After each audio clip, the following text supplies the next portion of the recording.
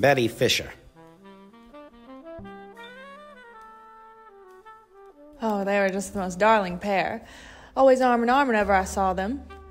And he's just so handsome. A real Cary Grant sort of fella.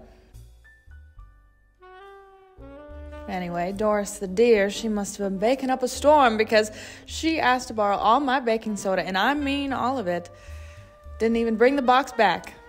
Oh, but I don't mind. If I had a hubby as handsome as hers, I'd bake him anything he wants.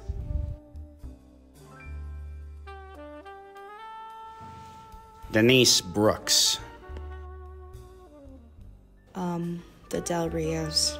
Should have called them the Benny Goodman Philharmonic with all the noise they made. Screaming, yelling, laughing sometimes. Other sounds, if you know what I mean. All hours of day and night. Anyway, I don't know why she came to me, but luckily for her, I was feeling generous, so I asked what she needed. And you know what she said? Bleach and detergent. Now, why she couldn't ask her husband to pick some up from the store, I couldn't tell you. I suppose she must have wanted to wet her frocks nice and clean before the dog came home. Eugene Waters. Really, I hardly knew either of them. Uh, the man was always at work, and I only passed her once or twice on the stairs. I live at the other end of the hall, so I never heard anything from them. Would be hard to anyway over that cacophony Denise Brooks is always playing. Anyway, as you can imagine, I was quite surprised when she came to my door, asking to borrow no less than three bars of soap, a hacksaw, and, if you can believe it, every rubbish bag I had. Sorry, a garbage bag. Anyway, yeah, I told her she could keep the soaps, but she must have had a hell of a lot to throw out because I didn't get one of the bags back and the hacksaw was blunt as a butter knife. Doris Del Rio. I know this may sound excessive, but my husband travels a lot. And whenever I get to spend a few days with him, I want the house to look the best it's ever looked. He's a very particular man, to say the least. He likes his food on the table and his house clean. So I tend to do exactly that to make him happy. So I borrowed some stuff from the neighbors, some baking and cleaning supplies to make everything neat. The floors, the windows, laundry, food, you know, a little spring cleaning too.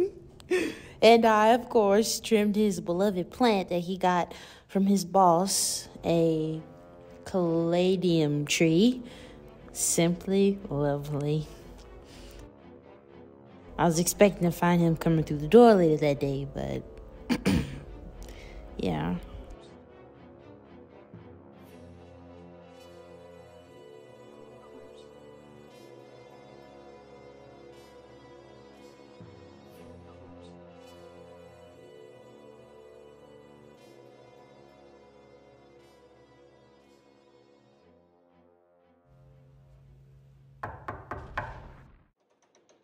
Creo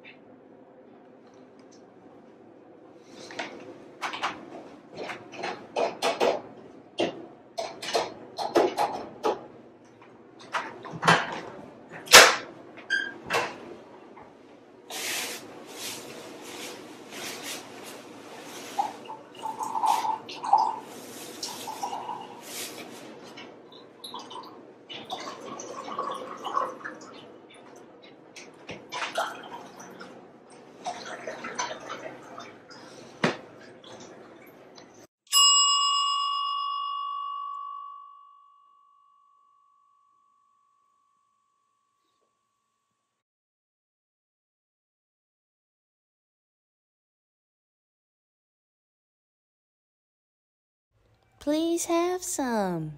I made plenty.